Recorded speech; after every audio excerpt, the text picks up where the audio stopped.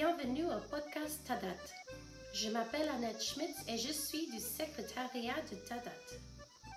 Tadat est un outil développé par des partenaires internationaux de développement des capacités avec la contribution technique d'un large éventail d'experts pour aider les administrations fiscales du monde entier à devenir plus efficaces en utilisant les bonnes pratiques acceptées au niveau international.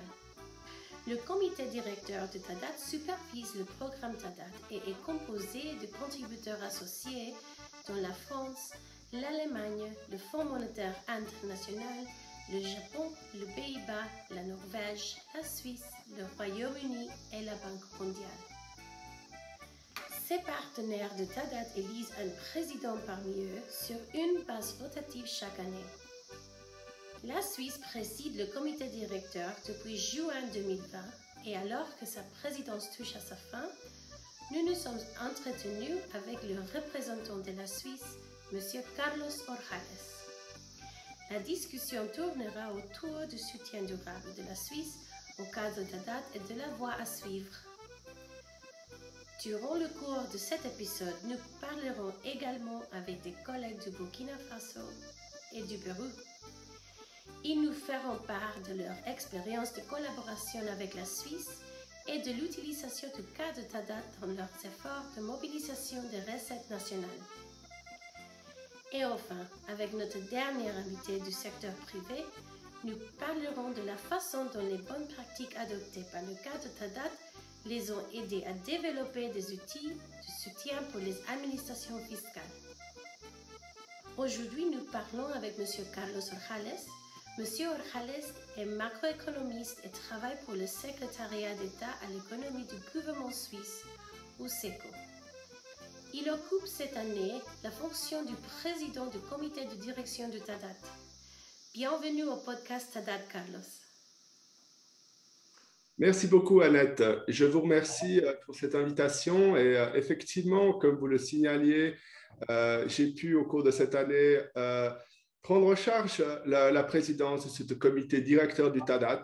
Mais euh, il faut dire que le TADAT et moi, personnellement, c'est une longue histoire puisque nous avons été impliqués, enfin j'ai été impliqué personnellement dans son développement depuis euh, le tout début et peut-être profiter de cette année de présidence pour euh, apporter un peu un témoignage personnel sur, sur cet instrument, comment nous l'avons vu et un peu quelle est son origine.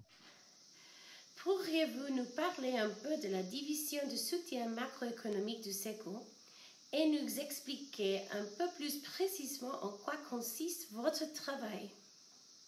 Tout à fait, Annette. Donc, euh, comme vous l'avez signalé, je travaille pour le secrétariat d'État à l'économie, donc c'est le ministère de l'économie pour faire court. Et euh, nous avons donc dans le ministère de l'économie euh, une division assez importante de coopération économique internationale. Donc, nous sommes une sorte de petit frère de l'Agence suisse de développement. Nous nous concentrons essentiellement sur des pays déjà un peu plus avancés normalement, euh, des middle income countries, revenus moyens, ou euh, des pays émergents avec lesquels souvent nous avons aussi des relations économiques importantes. La division pour laquelle je travaille est une division de soutien macroéconomique.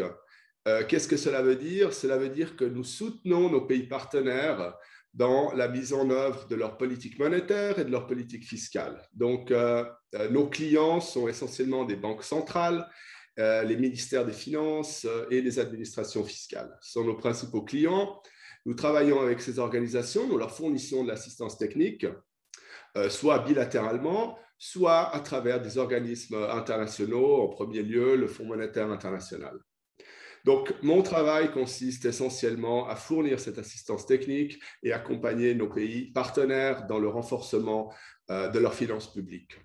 Pour la Suisse, euh, c'est évidemment cette politique monétaire, cette politique fiscale, c'est vraiment au cœur de notre coopération. Euh, nous sommes convaincus que le premier pas que les pays doivent réaliser, c'est-à-dire c'est d'avoir une maîtrise complète de leur politique monétaire et de leur politique budgétaire. Et euh, sans cela, euh, il y aura toujours une dépendance, il y aura toujours des difficultés. Des, difficultés pardon. Euh, donc, plutôt que d'intervenir dans toute une série de secteurs qui peuvent être critiques, nous pensons qu'il faut déjà avoir cette, cette, gestion macroéconomique stable. Et on va le voir maintenant, le TADAT joue un rôle extrêmement important. Vous avez été impliqué dans le projet TADAT depuis le tout début et vous avez participé aux discussions préliminaires qui ont abouti au développement de cette méthodologie. Pouvez-vous nous parler un peu de cette période? D'où est venue l'idée de développer le TADAT Quelles ont été les motivations premières? Alors, pour vous dire, euh, je me rappelle d'une réunion à Berlin euh, en 2009, donc un an après euh, la terrible crise qui nous a frappés, où nous nous étions assis avec un groupe de donateurs avec, disons, les mêmes opinions hein, sur l'importance d'avoir cette stabilité macroéconomique. Nous nous sommes assis et nous nous sommes dit, tiens, il faudrait, il faudrait tout d'abord que nous allouions davantage de fonds euh, pour l'assistance technique, pour ces institutions clés, les ministères des Finances, les banques centrales, les administrations fiscales. Donc déjà, dans un premier, euh, dans un premier pas, nous avons euh, décidé de créer des, fonds thématiques au niveau du Fonds monétaire pour permettre donc au Fonds monétaire de, donner davantage d'assistance technique à ces pays partenaires, pas uniquement, disons, cette fonction de surveillance, mais avoir vraiment une assistance technique plus large.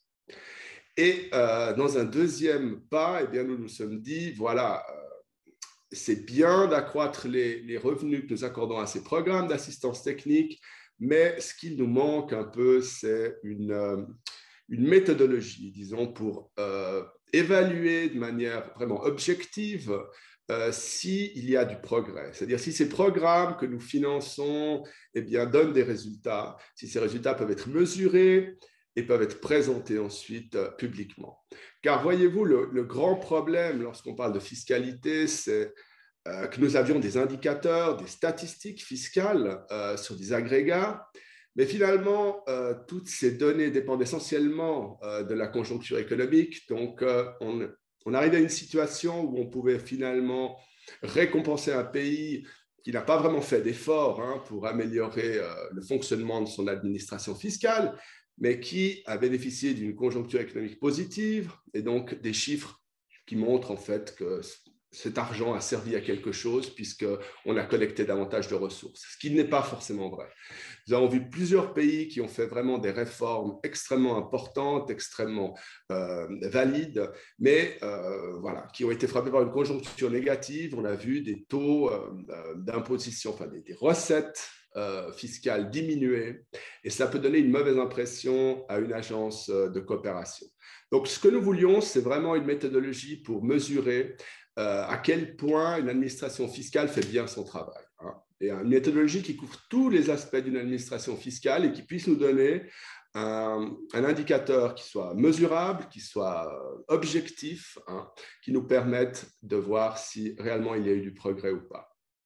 Donc, à cette époque, nous avons soutenu fortement, avec d'autres pays donateurs, la création de ce secrétariat TADAT, mais aussi euh, la création du secrétariat PEFA, qui est un peu le, pendant du TADAT, donc pour euh, la partie des, euh, des, dépenses publiques.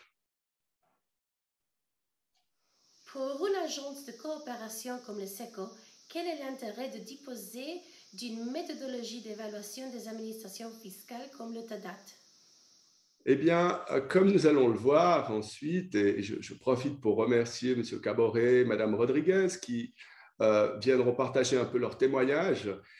Le SECO, dans les pays où le SECO travaille, euh, au Burkina Faso par exemple, nous soutenons un important projet de, modernisation de la Direction générale des impôts, ou au Pérou, où nous avons également un programme d'assistance plus léger toutefois, au niveau de la SUNAT, eh bien, l'instrument pour nous est absolument crucial. C'est-à-dire, en premier lieu, lorsque nous présentons un projet de financement, ce sont donc des donations, nous devons convaincre notre Parlement, nous devons convaincre nos contribuables eux-mêmes, finalement, que l'argent est bien investi, euh, qu'on produit des résultats. Et euh, donc, pour cela, le TADAT, est absolument incontournable dans notre travail. Euh, donc, vraiment rendre compte sur l'usage de notre argent, montrer à nos contribuables que ce qu'ils sont en train, le sacrifice auquel ils sont en train de consentir, non seulement donne des résultats, mais aussi montre qu'à long terme, finalement, en rendant ces administrations fiscales euh, soutenable financièrement, eh bien, cette aide au développement, euh, finalement, ne sera pas une aide infinie, mais qu'à un certain moment, eh bien, nos contribuables ne devront plus euh, se sacrifier pour, pour fournir cette aide. Donc, le premier point, c'est pour convaincre donc, nos, nos, nos, parlements et notre, nos contribuables. Mais en second lieu, et je le dis clairement, c'est il est extrêmement complexe sur un point politique de lancer une réforme fiscale ambitieuse. Hein. Avec un horizon à moyen terme. Souvent, euh, les administrations fiscales reçoivent une pression très forte du gouvernement pour accroître les recettes de l'année avec des mesures à extrêmement court terme. Et euh, la force du TADAT, c'est de permettre un peu d'avoir cette vision à un peu plus long terme. Et vous voyez, quelles sont les grandes faiblesses de l'administration fiscale qui vont peut-être pas apporter des fruits tout de suite hein, Je parle par exemple de la procédure des appels, euh, la procédure de, service aux, contribuables. Ce sont peut-être des investissements qui ne rapportent pas tout de suite, mais qui sur le long terme peuvent être euh, beaucoup plus importants que ces petites mesures à court terme pour euh, aller taxer encore davantage les entreprises qui sont formalisées, plutôt que de vraiment s'attaquer aux véritables problèmes qui peuvent prendre un peu plus de temps. Donc, vraiment un instrument qui permet de générer une dynamique, une dynamique à long terme pour, pour une réforme solide euh, d'une administration fiscale. Quel bilan tirez-vous du travail effectué par le secrétariat de TADA au cours de ces dix dernières années? Alors le travail euh, gigantesque, et j'aimerais ici saluer le, travail euh, inestimable du chef du secrétariat, Justin Zeck, que j'ai eu l'opportunité de connaître aussi sur le terrain durant des, des, des évaluations TADAT sur le terrain. Euh, il a énormément fait, mais euh, évidemment, le secrétariat, toute l'équipe de TADAT a énormément fait. En dix ans, nous avons non seulement établi une méthodologie euh, qui, au début, pas tout le monde était sûr qu'on pouvait développer une telle méthodologie, c'est-à-dire qu'il n'utilise pas de chiffres, mais qui soit objectif, qui soit evidence-based, etc., etc., etc. Donc, il y avait pas mal de scepticisme. Nous l'avons développé, cette méthodologie, nous l'avons même raffinée, nous l'avons adaptée euh, au gouvernement aussi infranationaux, nous l'avons complétée avec peut-être des dimensions qui manquaient encore au départ, comme euh, les droits d'assises. Euh, donc nous avons une méthodologie extrêmement solide, nous avons un comité directeur certes, mais également un comité technique qui veille aussi à la qualité de cette méthodologie. Et peut-être le plus important euh, sur ces dix dernières années, c'est que nous avons créé une véritable secte d'experts euh, en administration fiscale qui ont la même, euh, voyez, qui ont le même modèle, qui ont une même représentation de quelles sont les bonnes pratiques pour toutes les fonctions que doit, effectuer une administration fiscale. Et ces gens maintenant, ces personnes certifiées TADAT Assessor, s'il y en a des milliers, ils sont distribués de par le monde. Euh, et, je pense que cette contribution hein, euh, qui est apportée via le TADAT et via toutes ces personnes formées via le TADAT est une contribution absolument euh, énorme à, la poursuite des objectifs du millénaire et des nouveaux, objectifs, des, nouveaux objectifs de développement durable. Comment voyez-vous le futur du TADAT? Idéalement, où nous verriez-vous dans 10 ans? Très bien, alors c'est une bonne question. Euh, beaucoup a été fait, mais je pense qu'il y a encore un grand chemin à parcourir. Et euh, je dirais juste peut-être trois éléments qui, à mon avis, me paraissent euh, absolument fondamentaux. C'est d'abord ce qu'on appelle les medium term reform strategy, les réformes, les réformes revenue, c'est-à-dire les réformes fiscales de moyen terme. C'est un outil que nous essayons aussi de développer avec le Fonds monétaire c'est-à-dire toute une méthodologie pour euh, ensuite mettre en œuvre ces réformes avec une vision à moyen terme. Donc ma vision, c'est de voir ce TADAT intégré à ces MTRS, euh, parce que je pense que maintenant on est très fort dans l'assessment, il faut maintenant être fort aussi dans, dans les réformes. L'autre aspect aussi que j'aimerais bien voir ces dix prochaines années, c'est davantage de pays euh, développés, euh, pays de l'OCDE qui utilisent la méthodologie TADAT. Euh, pour l'instant, nous avons nos amis nordiques qui, qui ont utilisé cette méthodologie. cette méthodologie est adaptée pour n'importe quel type de pays. Hein. Ce n'est pas une méthodologie uniquement réservée à certains pays en développement. Donc, mon, vœu le plus cher, c'est que ce TADAT devienne vraiment un, outil d'évaluation pour toutes les administrations fiscales, OECD inclus. Et finalement, si je pouvais faire un troisième vœu, euh, ce serait de peut-être éviter une multiplication de, de différents diagnostics euh, au niveau de, de, différentes organisations, plutôt que d'avoir un diagnostic développé par organisation et même par donateur, que tout le monde euh, joigne les efforts pour, euh, pour faire vraiment le TADAT, le standard, l'unique standard, euh, pour évaluer donc la performance des administrations fiscales. Merci beaucoup, Carlos. C'était un plaisir de parler avec vous. Merci. Restez avec nous pour la deuxième partie de cet épisode du podcast TADAT. Nous parlerons avec Hamadou Kabore de l'expérience du Burkina Faso avec la méthodologie TADAT. Le podcast du TADAT tient à remercier Philippe Nadvesnik pour sa reprise de Schwitzer Grüß. Pour écouter le morceau complet, veuillez visiter le site accordionmaniac.com. Thank you.